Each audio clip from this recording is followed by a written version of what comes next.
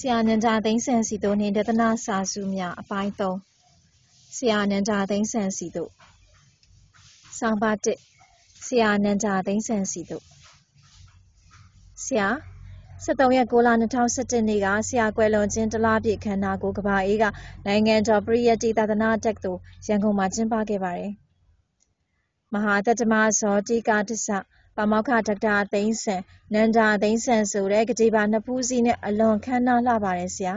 ။ခမ်းမကြီးတွေကဗုဒ္ဓဆင်တုတော်ရဲ့မုဒရာကဓမ္မစัจ जा မုဒရာပါဆရာ။ဗုဒ္ဓဟောကြားခဲ့တဲ့တုတ်တန်တရားတော်တွေထဲမှာအနှစ်သက်ဆုံးတုတ်တန်တစ်ခုကိုပြောပါဆိုရင်ဘယ်တုတ်တန်ကိုပြောမလဲဆရာလို့မေးတော့ဆရာကဓမ္မစัจ जा လို့ပြောခဲ့ဘူးတာတတိရပါတယ်။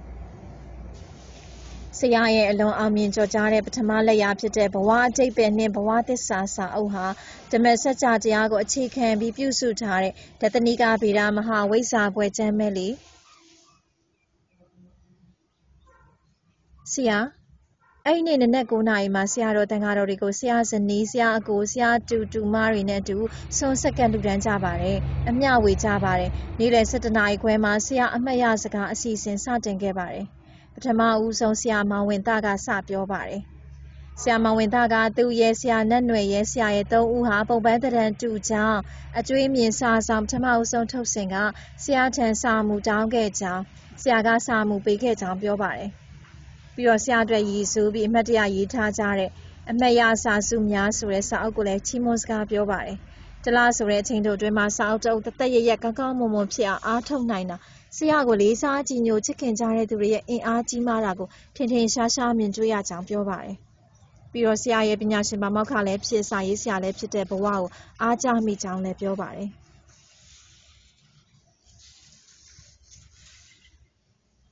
ဆရာ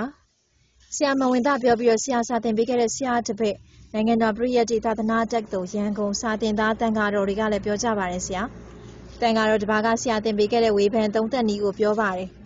တပါးကတော့ဆရာသင်ပေးခဲ့တဲ့ကြပြရွတ်ပြပါတယ်။တပါးကတော့ဆရာသင်ပေးခဲ့တဲ့ post modern အကြောင်းပြောပါတယ်။မြန်မာတန်ကတော့တပါးသာသနာတက်သို့နေမြေမှာ post modern အကြောင်းပြောနေတာကိုက post modern ဖြစ်နေတယ်လို့ခံစားမိပါတယ်ဆရာ။ post modern ဟာကမ္ဘာမှာလွန်ခဲ့တဲ့နှစ်ပေါင်း40ကစတင်ပေါ်ပေါက်ခဲ့ပုံပြောပါတယ်။တသနာပညာရှုထောင့်ဖြစ်တဲ့ post modern လက္ခဏာနှစ်ရပ်ကိုလည်းပြောပါတယ်။ decentralization ဗဟုပျောက်ဆုံးခြင်းနဲ့ ontological uncertainty မမြဲခြင်းအစစ်မှန်တရားအကြောင်းပြောပါတယ်။နားထောင်နေရင်ဆရာခဏခဏပြောတတ်တဲ့ postmodernism in philosophy အကြောင်းတတိယမိပါတယ်။ဗဟုပြောက်တယ်ဆိုတာအကြောင်းတရားတစ်ခုတည်း idea တစ်ခုတည်းနဲ့အရာရာကိုဖြည့်ရှင်းလို့မရနိုင်တာနိုင်ငံရေးစီးပွားရေးလူမှုရေးပြဿနာတွေကိုဖြည့်ရှင်းရမှာရှုထောင့်ပေါင်းစုံကဖြည့်ရှင်းကြရမယ်။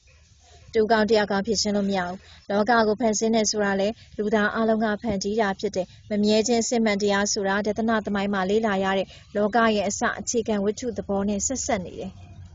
လောကရဲ့အစအခြေခံဝတ္ထုသဘောတွေးခေါ်တာကို ontology ရှိမှုပညာခေါ်ရဲဆိုတာတွေတတိယနေမိပါတယ်ဆရာ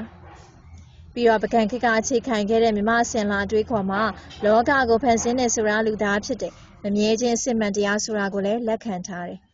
ယနေ့ post modern ခေတ်ထိမြမအစင်လာတွေးခေါ်တာခက်မီနေတော့မယ်လို့ဆရာပြောခဲ့တာတတိယမိပါတယ်ဆရာ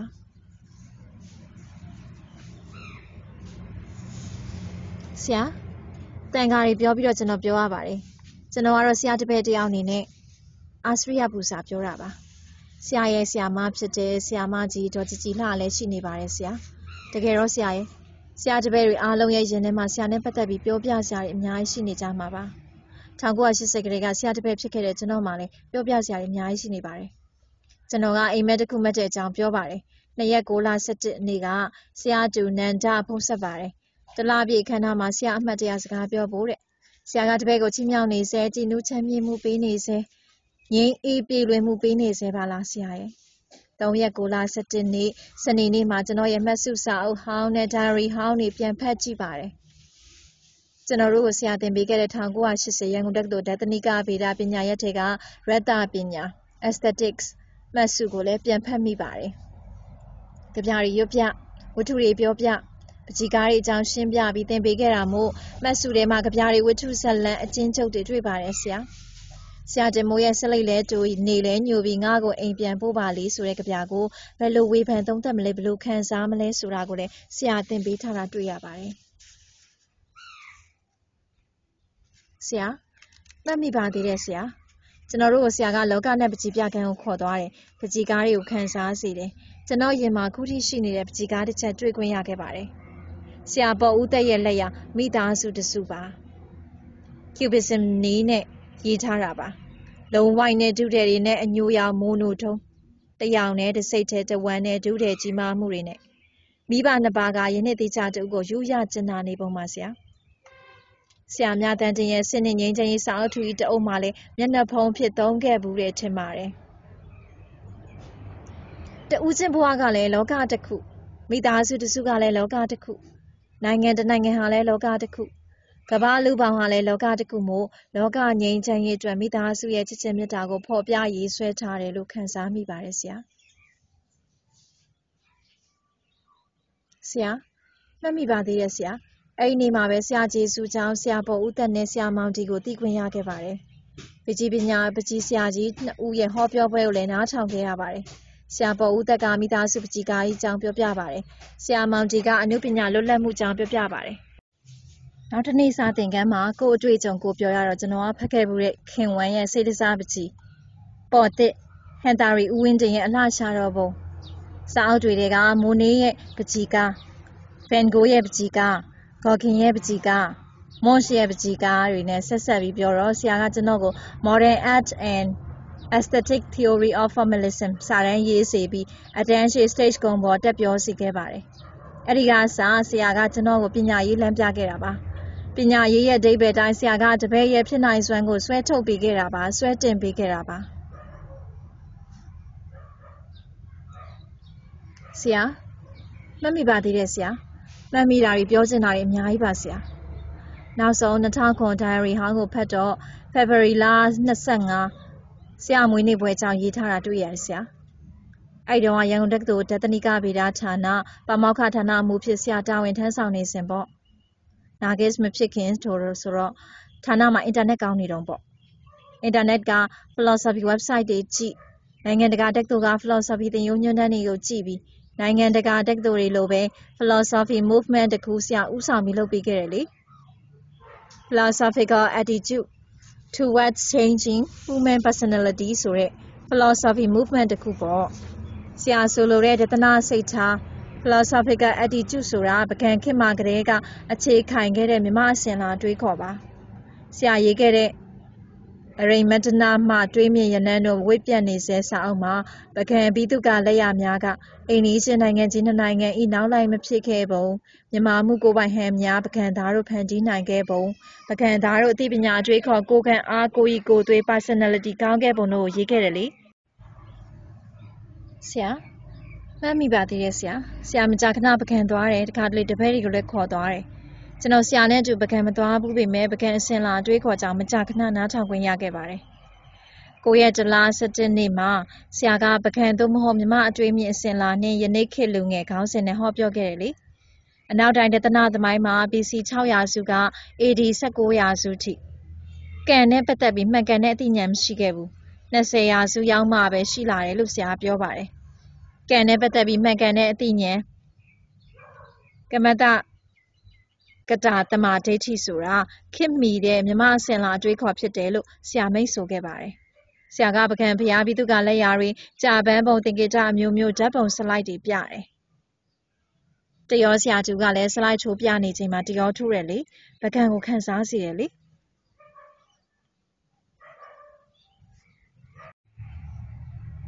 ဆရာ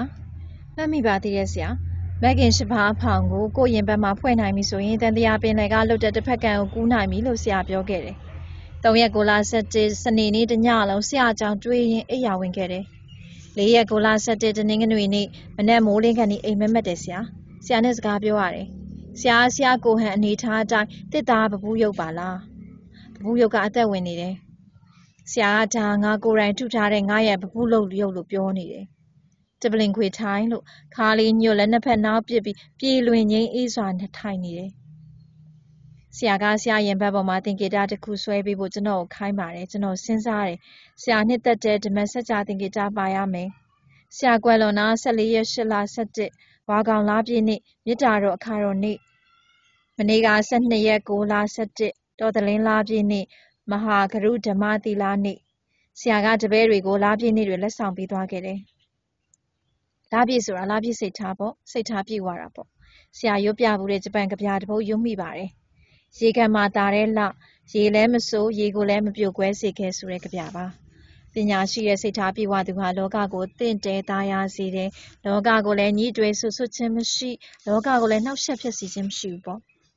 ဆရာရင်ဘတ်မှာလားပြေဝင်သင်္ကေတလည်းပါရမယ်လေပြီးတော့ဆရာခဏခဏပြောတတ်တဲ့အများရဲ့ချစ်ခင်မျက်နှာချင်းသင်္ကေတဖြစ်တဲ့ပွင့်ဖက်ရှစ်ချက်ပါတဲ့ သူချစ်ရှစ်ချက်ကြာလည်းပါရမယ်လေဆရာရင်ဘက်မှာဓမ္မစကြာသင်္ကေတမဂင်၈ပါးဖောင်သင်္ကေတလာပြေဝန်းသင်္ကေတသူကျစ်ရှစ်ချက်ကြာသင်္ကေတစတဲ့သင်္သင်္ကေတတွေအားလုံးပါတယ်သင်္ကေတတစ်ခုရေးချယ်လိုက်ပါတယ် By weekly 11 September 30 2011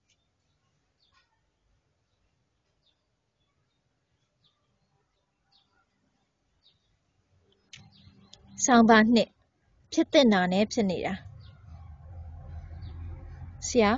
ဒီနေ့သတင်းကြွလာပြည့်နေ့12ရက်10လ2017ပါဆရာကွယ်လွန်ခြင်း2လပြည့်ပါဒီနေ့ဝါကျွတ်မှာဆရာကိုကိုတီးလက်ရမကြောနိုင်တော့စာရေးပြီးကြောပြစီဆရာဆရာကိုအများကဆရာနန္ဒာသိန်းဆန်ဖြစ်ပို့ပြီးသိကြပါတယ်ဆရာကွယ်လွန်ခြင်းအမှတ်တရစာအုပ်မှာတယောက်ကရေးတယ် ဆရာကိုတကားမှမမြင်တွေ့ဘူးပေမဲ့ဆရာရေးတဲ့စာတွေဖတ်ပြီးဆရာကိုလေးစားကြည်ညိုလို့လာရောက်ဂါရဝပြုနှုတ်ဆက်တဲ့အကြောင်းရေးထားပါတယ်ဆရာ။ဆရာကတက္ကသိုလ်ကျောင်းမှာစာသင်ပေးတဲ့ဆရာအဖြစ်သာမကဆရာရဲ့စာတွေဖတ်တဲ့သူတွေအတွက်လည်းဘဝအတိတ်ပဲနဲ့ဘဝသစ္စာကိုလမ်းပြပေးခဲ့တဲ့သူပါ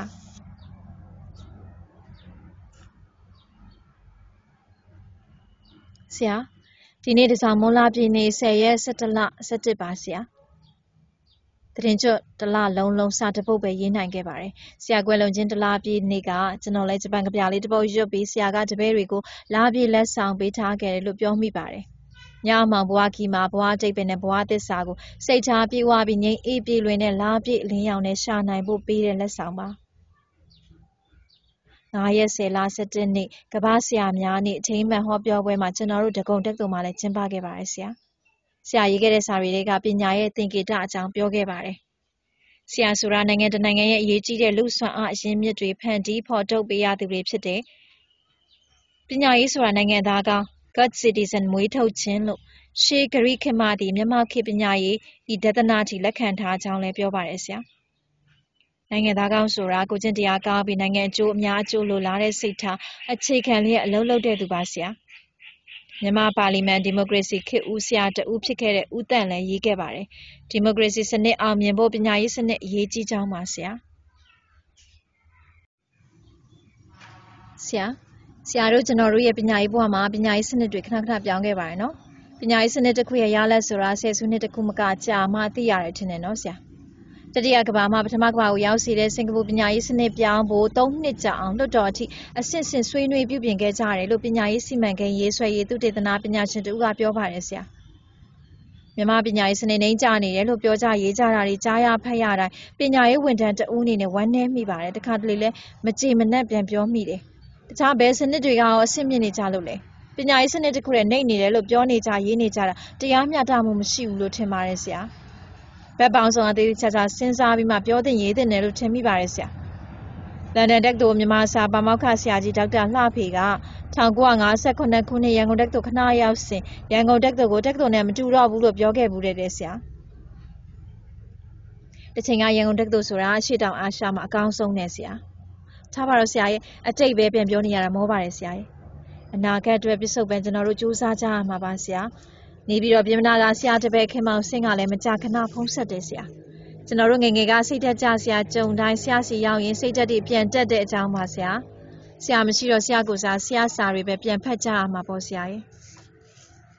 ခင်မောင်ဆင်းကိုတော့တော်ရွှာရေးခဲ့တဲ့ပုံဝတ္ထုလေးတစ်ပုဒ်ပြောလိုက်တယ်ဆရာကြီးဒေါက်တာအောင်ထွန်းသက်လည်းဟောပြောပွဲမှာပြောဘူးပါတယ်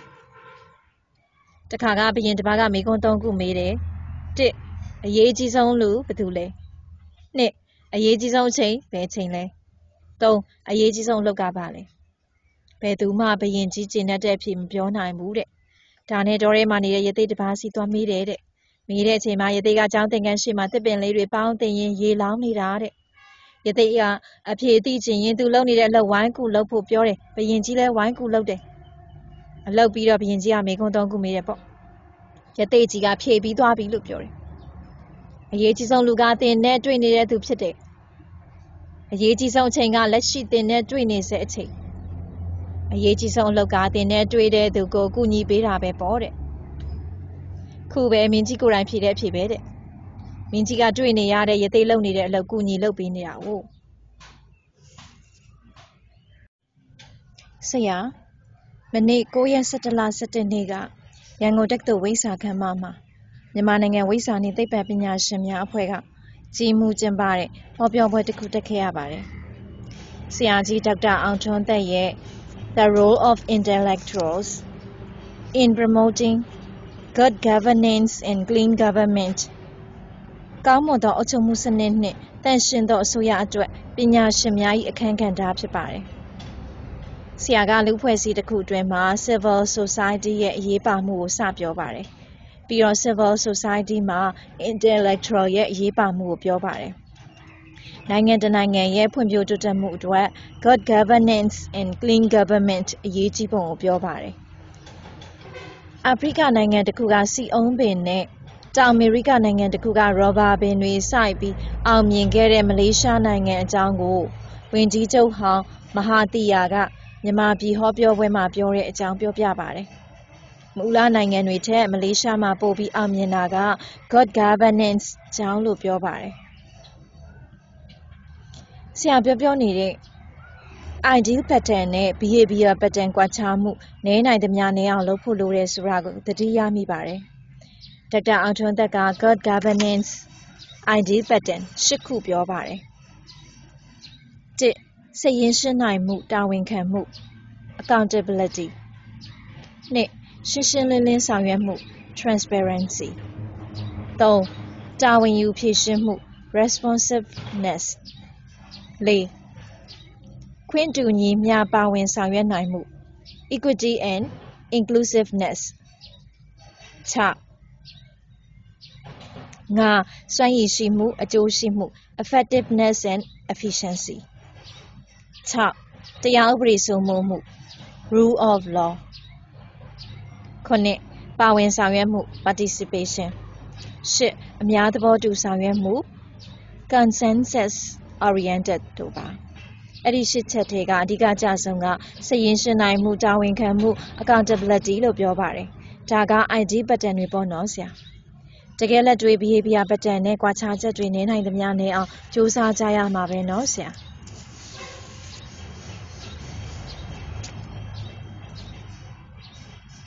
ဆရာ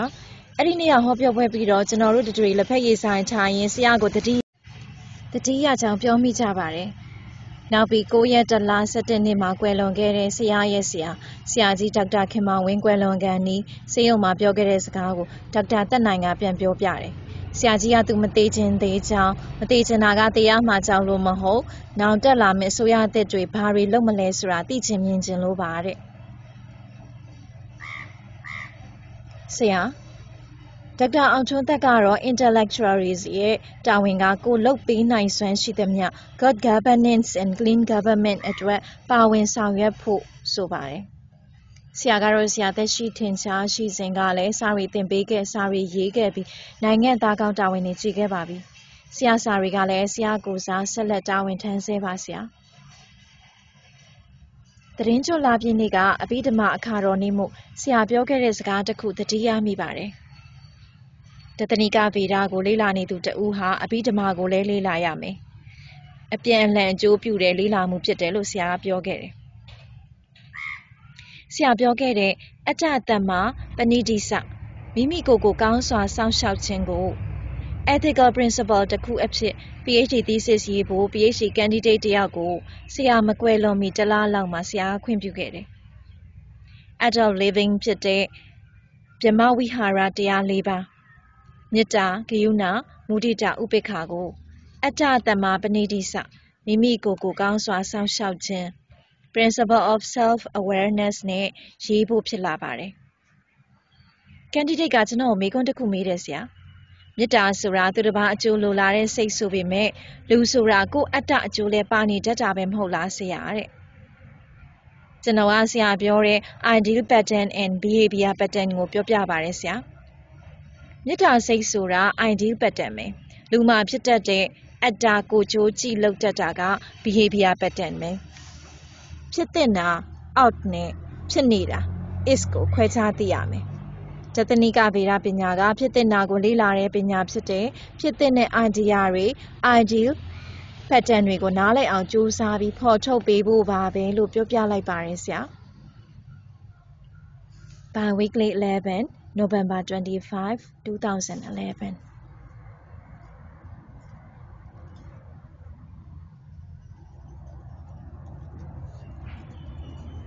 ဆောင်းပါး၃ မိုးကောင်းခင်နှင့်ဆရာနန္ဒာသိန်းဆန်အစဉ်လာ၁ဆရာဒီနေ့10ရက်12လ2011မြန်မာတက္ကရာ1383ခုနှစ်နတော်လာပြည့်နေ့ပါဆရာဆရာဆရာနန္ဒာသိန်းဆန်ကွယ်လွန်ခြင်းလေးလပြည့်ပါဆရာစာဆိုတော့လာမို့ဆရာကိုပို့ပြီးတတိယမိပါတယ်ဒီလိုလာမှဆိုရင်ဟောပြောပွဲခီးတွေဆရာထွက်နေကြပေါ့ခုတော့လဲဆရာအတန် CD တွေပဲနားထောင်နေကြရတာပေါ့ဆရာရဲ့ လောကမှာမြင့်မားတဲ့တောင်ကြီးတွေလက်ဆိုင်တဲ့ပင်လယ်တွေထက်ကြီးကျယ်တဲ့သူဟာလူသားဖြစ်တယ်လူသားရဲ့ကြီးကျယ်တဲ့စိတ်ကူးတွေအိုင်ဒီယာတွေကလောကကိုပိုကောင်းအောင်လဲလုပ်နိုင်တယ်ပိုဆိုးအောင်လဲလုပ်နိုင်တယ်လို့ဆရာဟောပြောပွဲတစ်ခုမှပြောခဲ့တာလဲခဏခဏပြန်ပြန်နားထောင်မိပါတယ်နှစ်ဆရာ30-17-2011နေ့ကကျွန်တော်တို့ဒဂုံတက္ကသိုလ် ဒသနိကဗေဒဌာနမှာနှစ်စဉ်ကျင်းပမြဲဖြစ်တဲ့ကျေးဇူးတရားပူဇော်ခြင်းအခမ်းအနားတစ်ခုလုပ်ခဲ့ပါတယ်။အငိမ့်စားပါမောက္ခများကိုပင်ဖိတ်ပူဇော်တဲ့အာစရိယပူဇော်ပွဲပါဆရာ။ဆရာရှိစဉ်ကဆရာကိုယ်တိုင်တက်ရောက်ချီးမြှင့်အပူဇော်ခံတဲ့ပွဲပါဆရာ။ဒီနှစ်တော့ဆရာမလာနိုင်တော့ပေမဲ့ဆရာကိုကျွန်တော်တို့တွေစိတ်နဲ့ရည်မှန်းပြီးပူဇော်ကြပါတယ်ဆရာ။ဒီဆောင်ပါလေးနဲ့လည်းပူဇော်ပါတယ်ဆရာ။မနှစ်ကဘူးစော်ပွဲမှာဆရာပြောခဲ့တဲ့ဩဝါဒစကားကိုလည်းသတိရမိပါတယ်။ ဘဝမှာတွေးကြုံရတတ်တဲ့အခက်အခဲတွေကိုတောင်ကြီးတွေနဲ့တွေ့တယ်လို့သဘောထားပြီးကြော်ဖြတ်နိုင်ရင်အောင်မြင်တဲ့သူတွေဖြစ်မယ်လို့ဆရာပြောခဲ့တယ်။၃ဆရာအဲ့ဒီနေ့ကပူဇော်ပွဲမှာပူဇော်ခံဆရာကြီးဆရာမကြီးတွေကလည်းဩဝါဒပေးကြပါတယ်ဆရာ။ဆရာဦးအေးကျော်မောင်ကြည်သက်ကဩဝါဒစကားပြောရင်း2011ခုနှစ်ထဲမှာတသနိကဗေဒကထင်ရှားသူသုံးဦးဖြစ်တဲ့ဆရာကြီးဒေါက်တာခင်မောင်ဝင်း ဆရာမောင်ဝနဆရာနန္ဒာသိန်းစံတို့ကွယ်လွန်ခဲ့ကြောင်းပြောပါတယ်။ဆရာနောက်ဆုံးဟောပြောပွဲဟာဂျွန်လာလေကအင်းဝါစာအုပ်တိုက်မှာပြုလုပ်ခဲ့တဲ့စာအုပ်မိတ်ဆက်ပွဲတဲ့။မမောင်စီရတီဖြစ်တဲ့နိုင်ငံရေးကိုချင်းတရားစာအုပ်မိတ်ဆက်ပွဲပါ။အောင်မြင်တဲ့နိုင်ငံတကာနိုင်ငံဖြစ်ဖို့လှုံ့ဆော်ရမှာလိုအပ်တဲ့အချက်၃ချက်ကိုဆရာပြောခဲ့ပါတယ်။၁စိတ်ကောင်းစေတနာကောင်းရှိဖို့2လုပ်ငန်းဆိုင်ရာနည်းပညာရှိဖို့ 3ရလက်ကောင်းတွေရရှိဖို့ဖြစ်ပါတယ်။ဆရာရဲ့စကားကဘယ်လုံးမဆိုလိုအပ်တဲ့အချက်တွေပဲဖြစ်မှာပါ။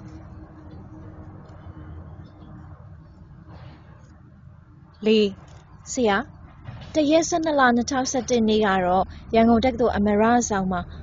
ပါရဂူကျန်းကောင်းစဉ်စစ်စီအတီးပြုပွဲတစ်ခုလုပ်ပါတယ်ဆရာ။ဖြစ်တည်မှုဝါဒီဟိုက်တက်ကရဲ့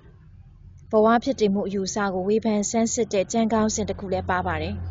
ဆရာရှိစဉ်ကလေးကဆရာလည်းညွှန်ချက်နဲ့ဗုဒ္ဓစာပေမှာတွေ့ရတဲ့ဘဝဖြစ်တည်မှုရှုထောင့်ကဝေဖန်ဆန်းစစ်ဖို့ပါဆရာ။တေခြင်းတရားဆိုတာဘဝဖြစ်တည်နေတဲ့လူသားအလုံးမလွဲမသွေတွေ့ကြုံကြရမယ်တောကပရိဒေဝဒုက္ခဒေါမနတအစစ်မှန်တရားတစ်ခုလိုနားလည်ရမယ်။နေ့စဉ်ဘဝထဲမှာမိမိဘဝဖြစ်တည်နေမှုနဲ့တသားတည်းဖြစ်နေတဲ့ဖြစ်ရပ်တွေကိုတတိနဲ့သိသိနေရမယ်။နားလည်နေရမယ်အဲ့ဒီဖြစ်ရပ်တွေကိုစောင့်ကြည့်တဲ့နည်းကို phenomenology နည်းလို့ဆိုပါတယ်။အဲ့ဒီနည်းနဲ့ပဲထင်ရှားလာတဲ့အစစ်မှန်တရားကိုသိမြင်မယ်လို့ Heidegger ကယူဆတာပါ။အဲ့ဒါလိုနေထိုင်တဲ့ဘဝကိုစစ်မှန်တဲ့ဘဝဖြစ်တည်နေမှု authentic existence လို့ဆိုပါတယ်။ဗုဒ္ဓစာပေမှာတော့ဘဝဖြစ်တည်မှုစကတည်းကရင်ဆိုင်တွေ့ကြုံရတဲ့အစစ်မှန်အရှိတရားဆိုတာသိခြင်းတရားတစ်ခုတည်းမှမဟုတ်တာနော်ဆရာ။ငါ ဆရာဘဝဖြစ်တည်မှုမှာတွေ့ကြုံရင်ဆိုင်ကြရမယ့်အစစ်အမှန်ရှိတရားတွေကိုဗုဒ္ဓစာပေမှာပိုင်းခြားလေးလာနိုင်တယ်နော်ဆရာအစစ်အမှန်ရှိတရားဆိုတာသိခြင်းတရားတစ်ခုတည်းမဟုတ်ဘူးဘဝဖြစ်တည်ခြင်းတရားအိုခြင်းတရားနာခြင်းတရားချစ်တဲ့သူတွေနဲ့ကြွေကွင်းခြင်းတရားမချစ်တဲ့သူတွေနဲ့စုံစည်းခြင်းတရားရတာမလို့ခြင်းတရားလိုတာမရခြင်းတရားတွေလည်းဘဝဖြစ်တည်မှုအစစ်အမှန်အရှိတရားတွေပါသစ္စာတရားတွေပါ ဗုဒ္ဓစာပေမှာပို့ပြီးပြည့်ပြည့်စုံစုံလေးလာနိုင်တယ်နော်ဆရာအဲ့ဒီအစစ်မှန်ရှိတရားတွေကိုသိနိုင်တဲ့ဤပညာတွေကိုလည်းဗုဒ္ဓစာပေမှာပြည့်ပြည့်စုံစုံပိုင်းခြားလေးလာနိုင်ပါတယ်နော်ဆရာ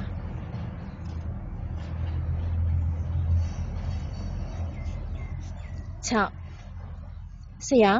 ဗုဒ္ဓစာပေတွေပြည့်ပြည့်စုံစုံထွန်းကားတဲ့အမိမြမပြည်ကိုဆရာကတန်မိုးထားမျက်နှာခဲ့တယ်နော်ဆရာပကံခေတ်မှာဗုဒ္ဓစာပေတွေပြည့်ပြည့်စုံစုံရောက်ရှိလာပြီး ဆက်လက်ထိန်သိမ်းခဲ့တဲ့အစဉ်လာကိုတင်စားခဲ့တယ်မြမအစဉ်လာလို့တင်စားခဲ့တယ်ဆရာကိုယ်တိုင်ဆက်လက်ထိန်းသိမ်းစောင့်ရှောက်ခဲ့တယ်။စာရီရေးသားပြီးပြန့်ပွားစေခဲ့တယ်။တပည့်တွေကိုလည်းအမွေပေးခဲ့တယ်။အနောက်တိုင်းဒေသနာပညာသမိုင်းမှာစကြဝဠာဘဟုပြုစဉ်းစားတွေးခေါ်ရာမှပြောင်းလဲပြီးလူဘဟုပြုတွေးခေါ်မှုကိုဆော့ကရက်တိအစဉ်အလာလို့သတ်မှတ်ခဲ့ကြတယ်။လူသားရဲ့ဘဝဖြစ်တည်မှုအစစ်မှန်တရားကိုစကြဝဠာတရားချက်အလေးထားခဲ့တဲ့ ဖြစ်တည်မှုဝါဒကိုလည်းဆော့ကရက်တိအစဉ်အလာလို့ဆိုခဲ့ကြတာပဲနော်ဆရာ။ဒါကြောင့်ဆရာတပည့်တွေလည်းဆရာအစဉ်လာအတိုင်းဗကံအစဉ်လာမြမအစဉ်လာဗုဒ္ဓစာပေကိုမျက်နှိုးတန်ဖိုးထားပြီးထိမ့်သိမ်းဆောက်ရှောက်မယ်ပြန့်ပွားအောင်ကြိုးစားအားထုတ်ကြမယ်ဆိုရင်ဉာဏ်သာသိမ့်ဆက်အစဉ်လာလို့တင်စားသတ်မှတ်နိုင်တာပေါ့နော်ဆရာ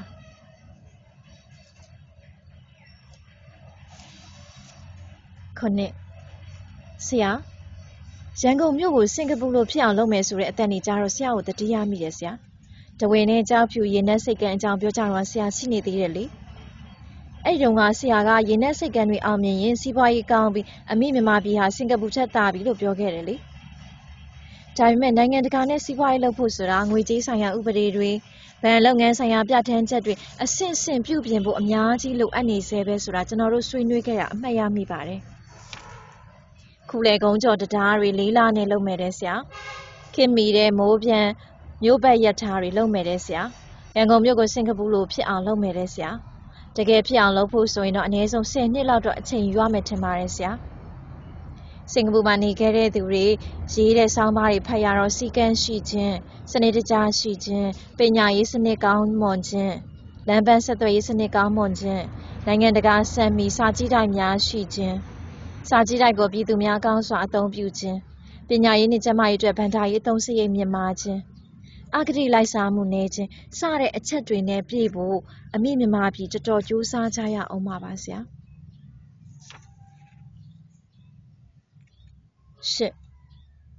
ဆရာ ကျွန်တော်တို့ကတက္ကသိုလ်ဆရာဆိုတော့စင်ကာပူမြို့သားတက္ကသိုလ် National University of Singapore NUS နဲ့အဆင့်တန်းတူတဲ့တက္ကသိုလ်တစ်ခုရန်ကုန်မြို့မှာရှိလာတဲ့အချိန်မှပဲစင်ကာပူနဲ့တူအောင်လုံနိုင်ပြီလို့ဆိုချင်ပါတယ်ဆရာ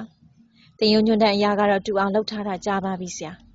ဆရာရှိစဉ်ကကျွန်တော်တို့တွေအင်တာနက်တွေအသုံးပြုပြီးနိုင်ငံတကာတက္ကသိုလ်သင်ရိုးတွေအတိုင်းမြန်မာတက္ကသိုလ်တွေရဲ့သင်ရိုးတွေဟုတ်မဟုတ်စီစစ်တင်ပြခဲ့ကြရတယ်မဟုတ်လားဆရာ ကျွန်တော် NUS ကိုခဏရောက်တုန်းက Social Science ဌာနသွားရင်သူတို့သင်ရိုးညွှန်းတမ်းတွေ notice board မှာကတ်ထားတာတွေ့ခဲ့ရတယ်ဆရာအားလုံးအတူတူပါဆရာဤညွှန်းစာအုပ်တွေလည်းတူတယ်ဆရာတခုပဲမတူတာအောက်ဆုံးမှာရေးထားတဲ့ဝကြလေးတစ်ချောင်းပါဆရာကျောင်းသားများအထက်ပါရည်ညွှန်းစာအုပ်များကိုဖတ်ပြီးမှသာစာသင်ခန်းသို့ဝင်ကြရန်ဖြစ်သည်ဆိုတဲ့ဝါကျလေးတစ်ကြောင်းပါဆရာ အဲ့ဒီဝါကျလေးတစ်ကြောင်းကလည်းတက္ကသိုလ်တစ်ခုရဲ့ပညာရေးစင်တန်းကိုပုံမကောင်းမွန်စေတာဖြစ်မယ်ထင်ပါတယ်ဆရာ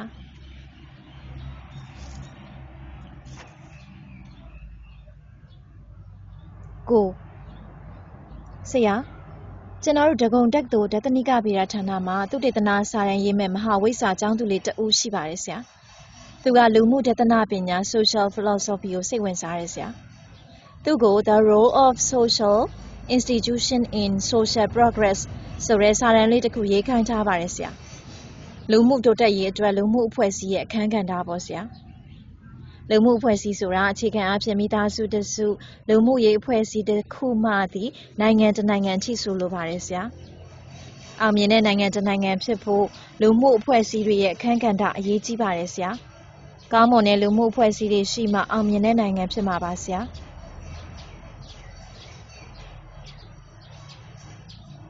10ဆရာ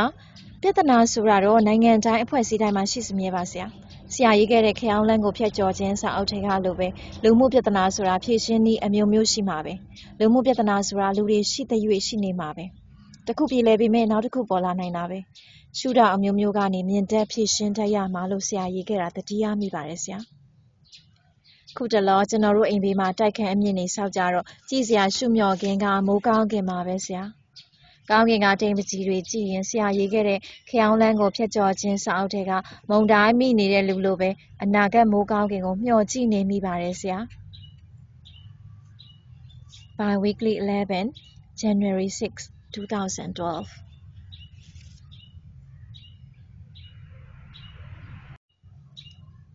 ဆောင်းပါလေးလွတ်လပ်ခြင်းလာမင်းနဲ့ဆရာနဲ့ကြသိန်းဆန်အဆင့်လားတစ်ဆရာ ဒါပြည့်နေ့တိုင်းဆရာနန္ဒာသိန်းဆန်ကိုပူဇော်တဲ့ဆောင်းပါးရေးဖို့ဆုံးဖြတ်ထားပါတယ်။ခုလဲ၈ရက်တလား2012နေ့ကပြသူလားပြည့်ပါ။ဒီတခါတော့လားပြည့်နေ့မရောက်ခင်ကကြိုတင်ရေးမယ်စိတ်ကူးမိပါတယ်ဆရာ။ဆရာကကိုယ့်ဘက်ကအဆဆရရကြိုတင်ပြင်ဆင်ထားရမယ်။ဘဝဆိုတာမှန်းဆလို့မရတဲ့အခွင့်အလမ်းတွေအပြောင်းလဲတွေနဲ့တွေ့ရကြုံရတတ်တယ်။ကိုယ့်ဘက်ကအဲ့ဒီအခွင့်အလမ်းတွေအပြောင်းလဲတွေရည်မှန်းပြီးအစဉ်သင့်ဖြစ်အောင်ပြင်ဆင်ကြိုးစားနေရမယ်လို့ပြောခဲ့ဘူးတာအမှတ်ရမိပါတယ်။ ဆရာကမီးရထားစီးတဲ့ခရီးသည်နဲ့ဥပမာပေးခဲ့တယ်။လာမယ့်ရထားပေါ်အစဉ်သင့်လိုက်ပါသွားနိုင်ဖို့ကိုကအထုပ်ပိုးတွေအစဉ်သင့်နဲ့ဘူတာကစောင့်နေသလိုမျိုးပေါ့တဲ့။နှစ်ဆရာ21ရက်12လ2011နေ့ကရန်ကုန်တက္ကသိုလ်အမရဆောင်ဒသနိကဗေဒဌာနမှာတက္ကသိုလ်အသီးသီးကပါမောက္ခတွေဌာနမှူးတွေသင်ကြားရေးဆိုင်ရာအစည်းအဝေးလုပ်ပါတယ်။ဟို ရှေးတုန်းကလိုဝိဇ္ဇာဘွဲကိုလေးနှစ်သင်တန်းပြန်လုပ်ဖို့ပါ။သင်ရိုးတွေပြန်ရေးကြတယ်ဆရာ။ရှေးကဆရာတွေရေးခဲ့တာတွေပြန်ကိုးကားကြရပါတယ်။ဆရာသာရှိနေမယ်ဆိုဘာပြောမလဲ။ဆရာပြောခဲ့ဘူးတဲ့စကားဖြစ်တဲ့သင်ရိုးတွေနိုင်ငံတကာအဆင့်မီအောင်ရေးဆွဲရတာကလွယ်တယ်။ဆရာဆရာမတွေရဲ့အည်သွေးမြင့်ဖို့ကပို့ပြီးအဓိကကြတယ်ဆိုတာကိုတတိယနေမိပါတယ်။ဆရာဆရာမများအည်သွေးမြင့်မာရေးအလုံးယုံဆွေးနွေးပွဲဆိုတာလည်းလုပ်ကြပါတယ်ဆရာ။ဂျိုင်မစ်ဆရာရဲ့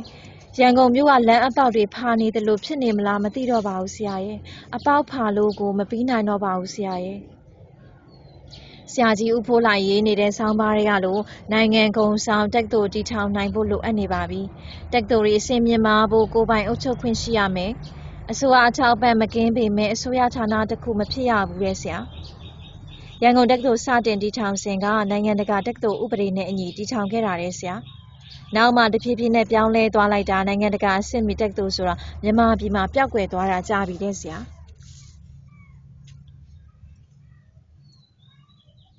3ဆရာတက္ကသိုလ်ကိုလည်းအမိတက္ကသိုလ်လို့တင်စားကြရနော်ဆရာပြသူလားပြည့်နေ့ကိုအမေနေ့လို့တချို့မျိုးတွေမှာကျင်းပကြတယ်အမေရဲ့ဂုံကျေးဇူးပူဇော်တဲ့ပွဲပေါ့ရှေးခေတ်ခါကတော့ပြသူလားမှာနိုင်ငံသားကောင်းရွေးတဲ့လာတယ်ဆရာ မြင်းခင်းသဘင်ပွဲကျင်းပပြီးစွမ်းရည်ပြိုင်ပွဲတွေကျင်းပတဲ့လသူရဲကောင်းရွေးတဲ့လပေါ့တက္ကသိုလ်ပညာဆိုတာစွမ်းရည်တိုးတက်အောင်လုပ်ပေးတဲ့နေရာ capacity building လုပ်တဲ့နေရာပါပြသူလဆိုတာမြမလွတ်လပ်ရေးနေ့ကျင်းပတဲ့လမှုလွတ်လပ်ရေးလလို့လည်းဆိုနိုင်တာပါမြမလွတ်လပ်ရေးရအောင်ခေါင်းဆောင်ခဲ့ကြတဲ့သူရဲကောင်းတွေကတက္ကသိုလ်ကမွေးလိုက်တဲ့သူတွေလည်းပါဝင်ခဲ့တာပါ၄ဆရာ ပြာသူလဆိုတာပြားဖျောင်းတွေအများဆုံးစုဆောင်ရရှိတဲ့လမို့ပြာသူလလို့ခေါ်တယ်တဲ့ဗုဒ္ဓစာပေရှုထောင့်အရာတော့ပြာသူလပြည့်နေ့ကရှင်တထောင်အခါတော်နေ့ပါဂေါတမဗုဒ္ဓရှိစဉ်ကယသိညီနောင်ရှင်တထောင်တို့မိမိအယူဝါဒကိုဆွန့်လွတ်ပြီးဗုဒ္ဓသာသနာတွင်ကူးပြောင်းခဲ့တာကြောင့်ကျင်းပခဲ့ကြတာအိန္ဒိယဒေသနာမှာကမ္မနိယာမနဲ့ပတ်သက်ပြီးဗုဒ္ဓနဲ့ကြံခိုင်းတွေတူညီတယ်လို့တချို့ကထင်မှတ်နေကြတယ်တကယ်တော့မတူပါဘူး စေတနာကိုကံလို့ဆိုတာဗုဒ္ဓစာပေတစ်ခုတည်းပဲရှိတာပြုလုပ်သူအတ္တမရှိစေတနာသာရှိ၏လို့ဆိုခဲ့တာကြံခိုင်းတွေကပြုလုပ်သူအတ္တကိုလက်ခံတဲ့ခိုင်းတွေပါကံကိုမှန်ကန်စွာနားလည်ဖို့ကမ္မတကတာတမာဒိဋ္ဌိဉာဏ်ရှိရမယ်လို့ဗုဒ္ဓစာပေမှာဖော်ပြထားတာပါကံကိုဉာဏ်နဲ့မှန်မှန်ကန်ကန်သိမြင်ရတာပါ ကိုယ်စေတနာမှန်ဖို့ကိုယ်စေတနာကောင်းဖို့ဉာဏ်နဲ့မြင်သိပြီးမှမှန်တဲ့ကံကောင်းတဲ့ကံကိုဆောင်ရွက်စေတာပါတချို့ပြောကြသလိုဗုဒ္ဓစာပေမှာကံလန်းနဲ့ဉာဏ်လန်းဆိုပြီးလမ်းနှစ်ခုမတွေးမိပါကံကိုဉာဏ်ဖြင့်သိမြင်ရမယ့်ဉာဏ်လန်းကမ္မတကတာတမာဒိဋ္ဌိဉာဏ်ကိုသာတွေးမိပါတယ်အရာရာအတိတ်ကံကိုပဲရိုးမယ်ဖွဲ့တာမှန်ကန်တဲ့ဉာဏ်မဟုတ်ပါဘူးအတိတ်ကံတစ်ခုရဲ့ရိုးမယ်ဖွဲ့ခြင်းဝါဒကို determinism ပြဋ္ဌာန်းခံဝါဒလို့ခေါ်ပါတယ်ကံကိုဉာဏ်ဖြင့်သိမြင်တဲ့ဉာဏ်လန်းကမ္မတ္တကတာတမာဒိဋ္ဌိဉာဏ်သာလွတ်လပ်ခြင်း freedom ဖြစ်စေပါတယ်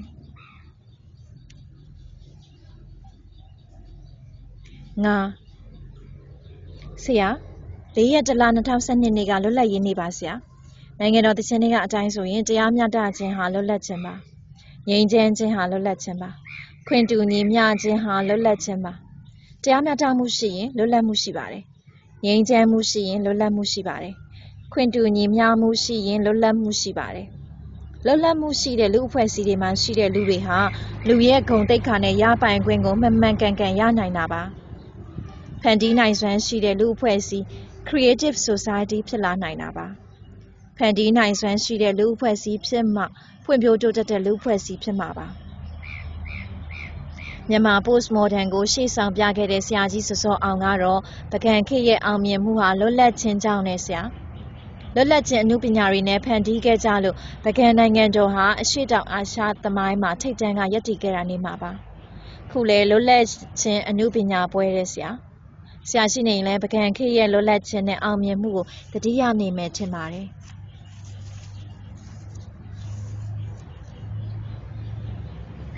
6 ဆရာဆရာရဲ့မှန်သောစကားကိုဆိုခြင်းနှင့်ပတ်သက်သောမှတ်ချက်များစာအုပ်ရဲ့မျက်နှာဖုံးကြောင့်တတိယမိပါတယ်ပထမချိန်ထုတ်စဉ်ကဆရာပေါ်ဦးသက်ရဲ့ပကြည်လက်ရာနဲ့ပါမျက်စိပိတ်နားပိတ်ပါးစပ်ပိတ်နေတဲ့ပုံကိုသုံးဦးပုံပါနောက်တစ်ချိန်ထုတ်တော့မျက်နှာဖုံးပုံထည့်ခွင့်မရတော့ဘူးပုံမဲမျက်နှာဖုံးနဲ့အချိန်ချင်းထုတ်ဝေခဲ့တယ် ဆရာရန်ကုန်တက္ကသိုလ်တက္ကနီကဗေဒဌာနပါမောက္ခဌာနမှတာဝန်ထမ်းဆောင်တော့ပါမောက္ခဌာနမှရုံးခန်းဖြစ်တဲ့ A22 မှာတခါတလေပဲထိုင်တယ်။ပါမောက္ခဘဝကထိုင်လက်စအခန်း A17 မှာပဲအထိုင်များပါတယ်။မမတ်ရရ A22 မှာထိုင်တဲ့တရက်မှာဆရာစီမကြာခဏရောက်လာတတ်တဲ့ဗပုဆရာလေးကိုပြည့်ဖြိုးကဆရာကိုဗပုရုပ်လေးတရုပ်လက်ဆောင်ပေးပါတယ်။ဗပုရုပ်လေးကရိုဒင်ရဲ့တွေးခေါ်ရှင်ဗပုရုပ်ကိုမှီညမ်းထားပုံရပါတယ် ဒါပေမဲ့ရိုတင်ပပုလိုလက်ကမေးစေ့ကိုခြောက်ထားတာမဟုတ်ဘူးလက်နှစ်ဖက်စလုံးကဥကောင်းကိုဖိထားသလိုဖြစ်နေတယ်ပပူးရုပ်ကိုတွေ့တွေ့ချင်းမှပဲခံစားလိုက်ရတာကဆရာရဲ့မှန်သောစကားကိုဆိုခြင်းနှင့်ပတ်သက်သောမှတ်ချက်များစာအုပ်ရဲ့မျက်နှာဖုံးကမျက်စိပိတ်နားပိတ်ပါးစပ်ပိတ်နေတဲ့ပုံကိုယ်သုံးဦးပုံပါခုပပူးကအုံနောက်ကိုပိတ်ထားတာပါလားအတွေးခေါ်ကိုပိတ်ထားတာပါလား အတွေးလွတ်လပ်မှု freedom of thought ကိုပိတ်ထားတာပါလားလို့ဆရာကိုကျွန်တော်ခံစားမိတဲ့အတိုင်းပြောမိတာတတိယနေမိပါတယ်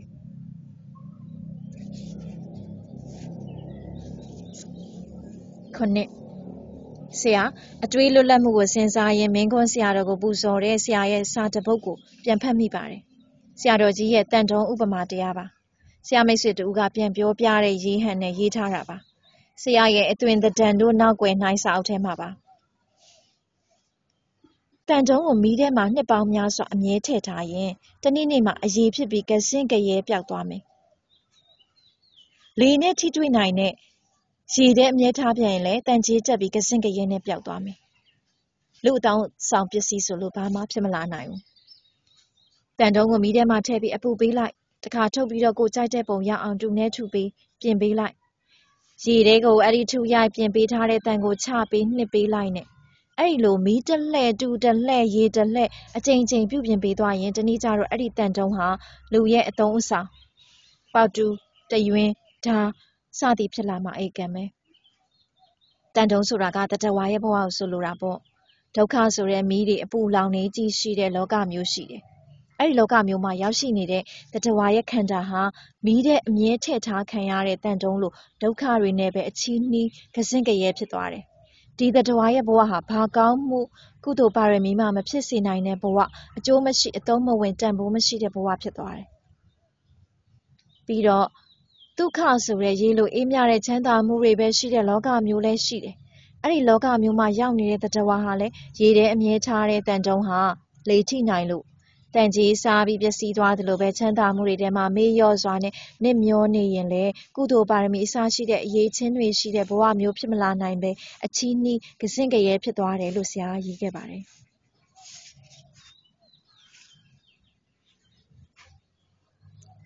是，是呀。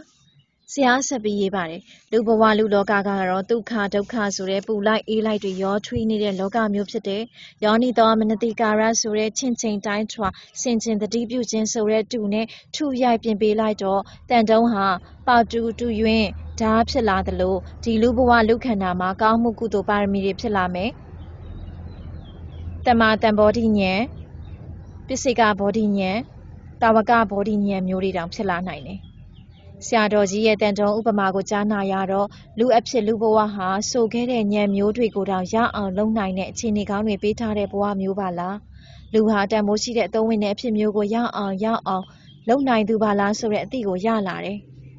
လူဖြစ်ရခြင်းဟာအခွင့်ကောင်းကြီးတစ်ရက်ကိုရနေတာပါလားလို့မြင်လာခဲ့တယ်လို့ဆရာမိတ်ဆွေရဲ့လွတ်လပ်တဲ့အတွေ့ကိုဆရာရေးခဲ့ပါတယ်